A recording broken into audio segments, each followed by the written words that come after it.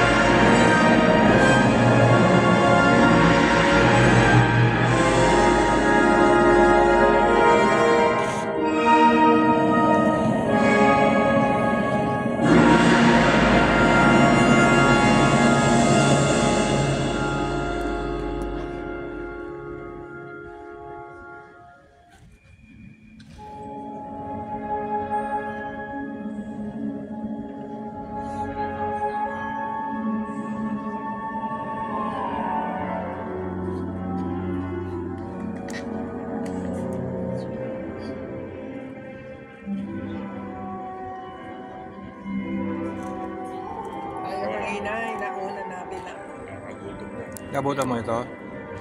Di ba yung inay, pumasok tayo? Yan yung pumasok tayo eh.